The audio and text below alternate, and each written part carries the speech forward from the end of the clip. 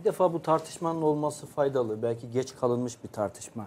Hani futbol federasyonu tutup Kavga değil ama hocam tartışma önemli. Tartışma Tabii tabii. tabii tartışma olmalı. Federasyon bu açıklamayı yapmadan önce e, keşke bu tartışmalar olabilseydi. E, Sayın Ahmet Nur Çebi'nin söyledikleri gayet güzel. E, onları almak lazım. Ben de katılıyorum söylediklerine birebir. Başka önerlemeler önerlemelerle de beslemek lazım. Geçtiğimiz programda e, yine bu konuya değinmiştik. E, ben Almanya'nın kötü bir modelini aldığımızı söylemiştim.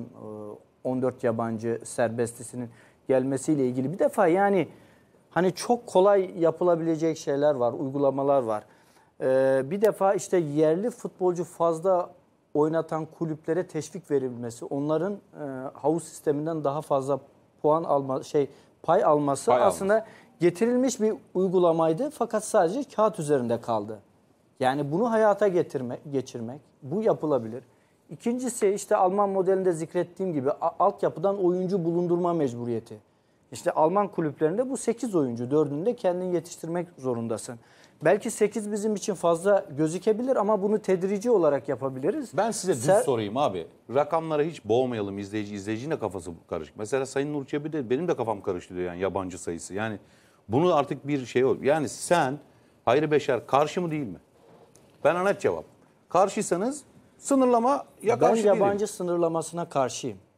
Yani bu burada tabii ki yani bir model ortaya koyarken yalnız işte yabancıyı serbest bıraktım. Aynen öyle. E, yabancıyı sınırlandırdım. Modeli böyle sunamazsınız yalnız Aykut. Yani bu modeli çok sağlıklı bir zemine oturtmak lazım. Şimdi Serdar bir şey söyledi. Yani bir detay gibi gözüküyor. Dedi ki hani altyapıdan fazla oyuncu bulundurdun. e, Bunu mecbur kıldın ama oyuncular hazır değil. Şimdi sen bu müeyyideyi, bu kuralı getirdiğin zaman bugün hazır olmaz ama 3 yıl sonra hazır olmak zorunda kalır. Bu beraberinde neyi getirecek? İşte altını çizdi. Çok da güzel bir örnek verdi. Getiriyorsun İtalya'dan altyapı hocasını kabul etmiyor.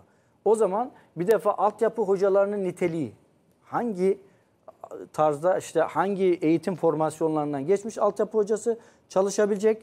Altyapı hocalarının kazancı bak bunu da bir müeyyideye getirmek lazım. Ondan sonra mesela yabancı sınırlaması getireceksen meseleye şöyle bakabilirsin. Dersin ki evet yabancı sınırlaması var ama 22 yaş altı yok dersin. Sanıyorum burada da bölünüyoruz. Sen karşı mısın mesela Evren? Neye? Yabancı sınırı olayına. Karşıyım abi serbest olması lazım. Serbest olması. Tabii ki. Sen de serbest Bir olması lazım. diyorsun. alakası Serbest yok. olması lazım. Serbest diyorsun. olması Sen lazım de ama serbest olması lazım. Ya serbest olmalı da ben söylüyorum sana başka bir şey başka bir şey var işin içerisinde. Serbest olmalı mı olmamalı Bak işin içerisinde başka bir şey var diyemez Tamam, onu açacağız. Babacım ben zaten karşıyım. Hep Karşı. baştan Sen beri de karşıyım. karşısın. Tabii ki. Tamam. Neydi? Tamam. Benim esasında söylemek istediğim şey şu. Diyorum ki yabancı tamam eyvallah sınırsız olsun fakat herkesi suçlamıyorum elbette. Çok acayip paralar dönüyor bu işlerin içerisinde. Çok fena götür var bu işlerin içerisinde. Al burada Beşiktaş örneği var önümüzde. Ya yine götürecekler. Ahmet Durçebi Ne diyor ki? Sayın Size- Ahmet Durçebi Beşiktaş Başkanı adı, adam şeye girmiş Beşiktaş'a yönetici olarak başkan olarak girmiş kasayı bir açmış abi kol saati içinde başka bir şey yok. Bomboş. Kasa bomboş abi. Gene kasayı zaten Ta- zor tamam bulmuşlar. mı? Kasa yokmuş Hiç, ki. hiçbir şey yok yani. Kasa nerede onu aramışlar Bomboş. önce. Zor zor. Şimdi bak ya Em- bir Em- buçuk milyon eurodan aşağı para alan kimse yok diyorlar E, mesela e, e, Beşiktaş'ta Emre- şu anda. Aykut, Beşiktaş'ta. Emre güzel bir Sen noktaya değindi. yapmışsın, bütün transferleri yapmışsın. İşte bilmem Burak'a o kadar vermişsin, Enkudu'ya şu kadar vermişsin. Bir sürü paralar dağıtmışsın. Ondan sonra da basmışsın gitmişsin abi. Gideceğini bile bile yapmışsın. Bak bunların güzel bir çoğunu. noktaya değindi. Ben biraz daha açayım parantezle. Şimdi bu yabancı sınırlaması olayı ne oluyor? Düşüyor değil mi? Yerli futbolcular daha fazla kadrolarda yer alacak. Arkadaşlar Türkiye'de 3-4 sene önce bazı menajerler yerli futbolcu toplamaya başladı. Bakın çok net söylüyorum. Yerli. Yerli futbolcu. Çıksın bir tane menajer beni mahkemeye versin. İnşallah davalık oluruz da hani devlet de girer işin içine araştırır ne olur diye. Şimdi o menajerlerin 3-4 sene öncesinden bildiğini, bildiğini koca Beşiktaş Teknik Direktörü Sergen Yalçın, koca Galatasaray Teknik Direktörü Fatih Terimler, Şenol Güneşler, Mustafa Denizliler onlardan sonra öğreniyorsa kulüp başkanları Türk futbolu dükkanını kapatsın gitsin kardeşim. Kepengi indirsin. Dört tane menajer mi yönetiyor ülkede Türk futbolunu? He? Ben size söyleyeyim. Hangi kulüpler, hangi kulüplerle pilot kulüp anlaşması yaptı? Hangi menajerler portföylerine baksın? Milli takımlar, alt milli takımlara bakan hangi hocalarla temas halinde?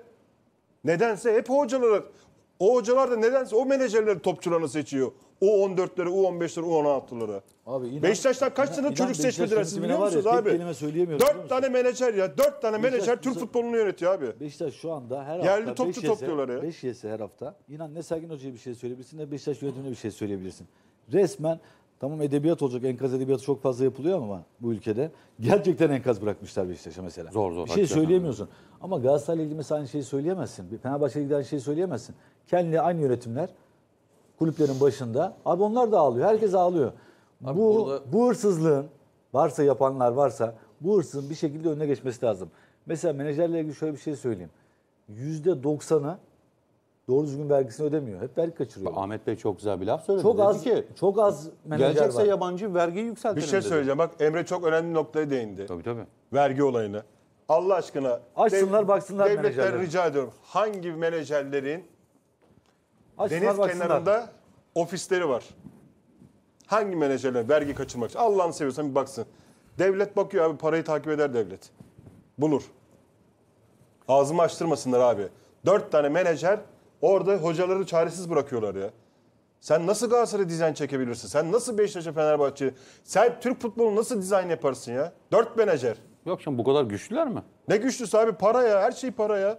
Her şeyi herkesi parayla bağlıyorlar abi. Ya bazı menajerlere bazı, bir Evren'e söz bazı menajerlere yanaşmadan takım bulamıyorsun. Tabii ya. Takım bulduğun zamanlarda takım bulduğun zaman da sa- teknik direktörle koltuğunda oturmuyorsun. Menajerin kucağında oturuyorsun abi.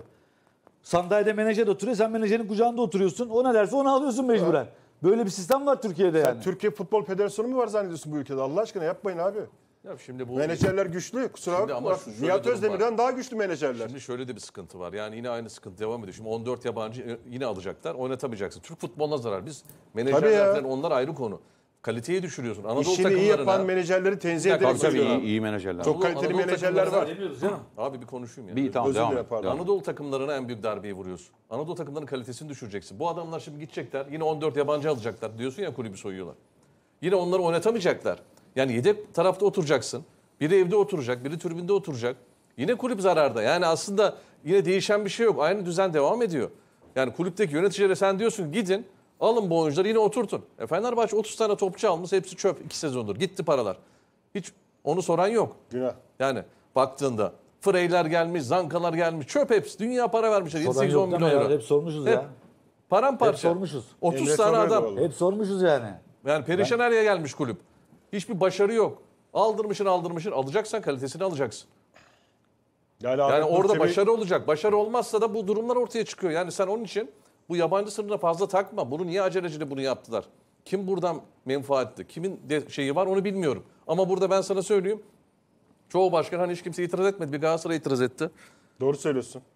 Bak, hocalar var ama bazı Hocalar teknik var. Adamlar teknik var. adamlar söylesin olur. Kulüp nezdinde Ama kulüpler Tabii, gidecek sesli diyecek anlamda. kardeşim. Ahmet de- Nurçebi'nin açıklamaları da Ahmet Tamam. Hoca'nın Galatasaray'la hemen hemen aynı fikirde olduğunu söylüyor. o başvuruları yapmaları lazım ki bu Yap. kararı en azından tekrar toparlasınlar, değiş, değiştirsinler. Normale canım. çevirsinler. Yoksa Türkiye bu Futbol ciddi bir sıkıntı Federasyonu olacak. Kulüpler Birliği ile konuşmadan bu kararı değil. Kulüpler Birliği bu kararı Türkiye Futbol Federasyonu'na söyledi ki federasyon bunu açıklıyor. Yok abi öyle bir şey yok. Nerede hiç öyle bir, öyle bir durum olsa açıklama yapardı Kulüpler Birliği Başkanı. Bizim izni verdik, her şeye razıyız derdi. Galatasaray Kulübü'nün öyle bir şeyden haberi yok. Yok işte söylediler açıkladılar. Ha. Bizim haberimiz yok. Gerçi. Galatasaray Kulübü olma, haberi olmadan her şey oluyor. Ondan, Bazı menajerlerin haberi var ama koca Galatasaray Kulübü'nün haberi yok. Şimdi ters bir durum değil mi bu? Ya niye böyle acele ettin ya? Şu daha bir, bir lig bitsin, bir bak. Bir sezonun o şeyini gör. Hemen bunları böyle metozori yaptın. Ne yapacaklar bu kadar oyuncu takımlar? Nasıl yollayacaklar bu kadar? Adam gitmedi mi ne yapacak? Oturacak orada yiyip parayı alacak, yiyip yiyecek, atacak. Tabii Ya mukavelesi abi- varsa sıkıntı tabii. E tabii işte onlara Sana baktılar bir- mı? bak- Kaç tane oyuncunun mukavesi devam ediyor? 14 yabancı sınırı geldiğinde de hani 14 yabancı olayı geldiğinde de e, yerli havuzu en geniş kulüp Beşiktaş'tı. Biliyorsun. Feda döneminde hep yerli futbolcular, yerli futbolcular, gurbetçi futbolcular, Almanya'dan gelen futbolcular ve büyük bir avantajı vardı. Çok büyük avantajı vardı ve bu avantajını kaybetti Beşiktaş. O dönemde de hani şu yabancı arttıralım denildiğinde de inanın yine bazı menajerler yabancı oyuncu toplamıştı. Bazı menajer yabancı oyuncu. Herhalde. 4 abi, sen- senede bir bak 4 senede bir 3 senede bu yabancı sistemi Hayır değişiyor. Öyle değil mi Evren? Artı geliyor, artı eksi gidiyor, Evet, o geliyor, evet. bu geliyor. Serdar'a katılıyor musun? Türk futbolunun menajerler mi yönetiyor? Tabii abi ben net söylüyorum. Yok. Serdar belki burada hani birazcık e, agite ediyor, kamuoyunun dikkatini çekmeye çalışıyor Yok ama abi, altı söylüyorum. boş, altı boş bir şey söylemiyor. Ama menajerler konusunu tamamen farklı bir şekilde ele almak lazım. Yani burada Türk futbolunun menajerlerin yönetmesini isteyen bence yöneticiler var. Yöneticilerle menajer ilişkisini ele almak lazım.